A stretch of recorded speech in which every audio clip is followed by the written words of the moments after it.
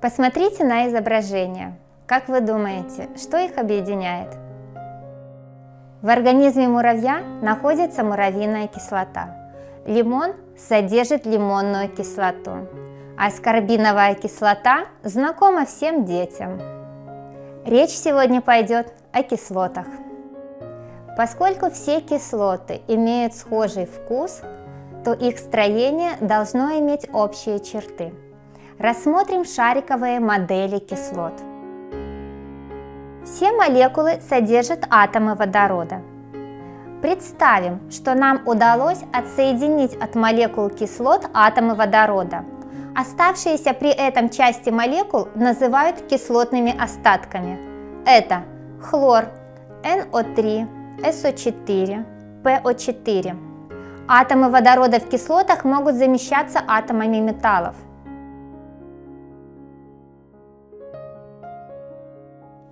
Кислоты – это сложные вещества, в состав которых входят атомы водорода, способные замещаться атомами металлов, и кислотные остатки.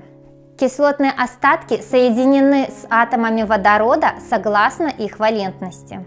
Как ее определить? Вы знаете, что водород одновалентен. Значит, если кислотный остаток соединен с одним атомом водорода, его валентность равна единице. Например, H-хлор, HNO3. Если кислотный остаток соединен с двумя атомами водорода, значит его валентность равна 2. Например, H2SO4, H2CO3. Если кислотный остаток соединен с тремя атомами водорода, значит его валентность равна 3. Например, H3PO4. Химическая формула любой кислоты начинается с символа водорода, после которого записывается формула кислотного остатка. Кислотный остаток имеет определенное название.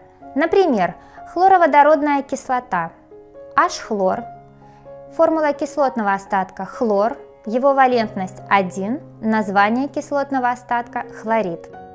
Обратим внимание на физические свойства кислот – при нормальных условиях это жидкие или твердые вещества. Большинство кислот растворимы в воде. Внимание! При работе с кислотами следует знать и соблюдать меры безопасности.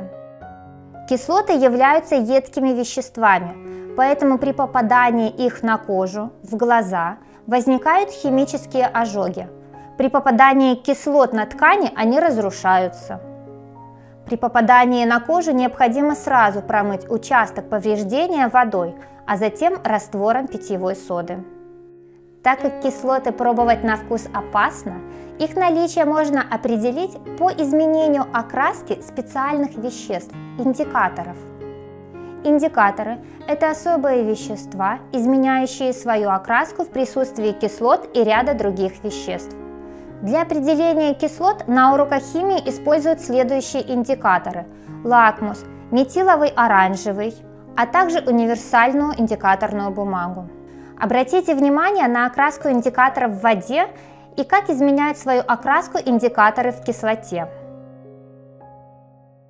Экспериментально убедимся в способности индикаторов изменять свою окраску в присутствии кислот.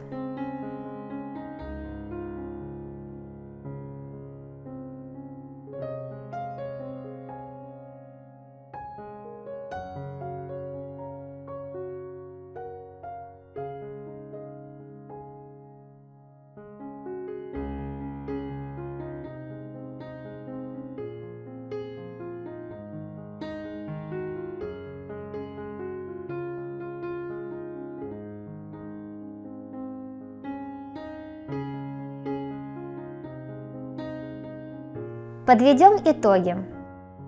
Кислоты – это вещества, состоящие из атомов водорода и кислотных остатков. Индикаторы – это особые вещества, изменяющие свою окраску в присутствии кислот и ряда других веществ.